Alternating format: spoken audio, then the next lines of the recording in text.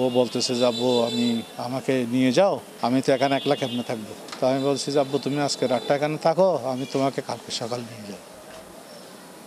এখন সকালে dead body লাস্টটা সকলের প্রার্থনার পরেও বাস্তবতার কাছে হেরে না ফেরার দেশে চলে গেল ফাহমিদা কামাল।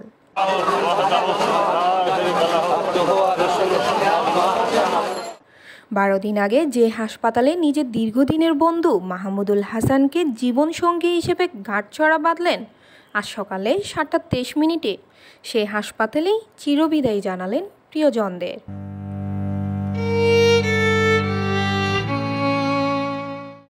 মার্চের একুশ তারিখ সোমবার বাদ আসর নগরীর বাকলিয়া চেয়ারম্যান ঘাটার নয়া মসজিদে জানাজা শেষে পারিবারিক কবরস্থানে দাফন করা হয় ফাহমিদা কামালকে।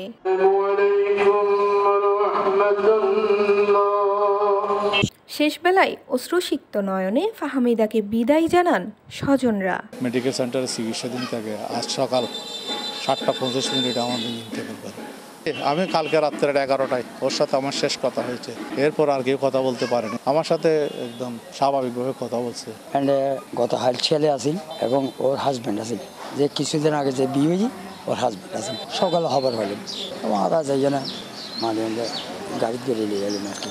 মেয়ের বাবা তো সাহিত্য মুজিম টাকা পয়সা খরচ করছে। যত সব টাকা খরচ করছে। কলকাতায় বীর- কলকাতার টাটার মধ্যে চিকিৎসা করেছে। করোনার মধ্যে।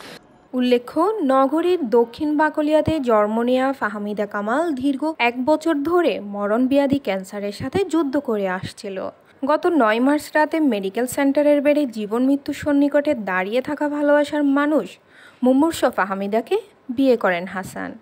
বিষয়টি সামাজিক যোগাযোগ মাধ্যমে ছড়িয়ে পড়লে গণমাধ্যম সহ সারা দেশব্যাপী আলোড়ন সৃষ্টি হয়।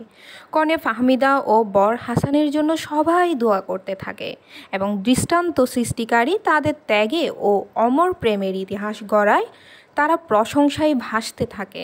ভালোবাসার মানুষগুলো চাইল যে তার জীবনের শেষ সময় পর্যন্ত তার লথাই বেলাই এবং সে তার হতা রাখি আজ আর বোন, তার শেষ নিঃশ্বাস ত্যাগ করছি। এই সময় ওর ভালোবাসার মানুষগুলো তার পাশে আসিল তো দেশবাসীর হাতে দোয়া চাই, আল্লাহ যেন তারে ব্যস্ত নসিব করে। ডেক্স news C plus TV Bangla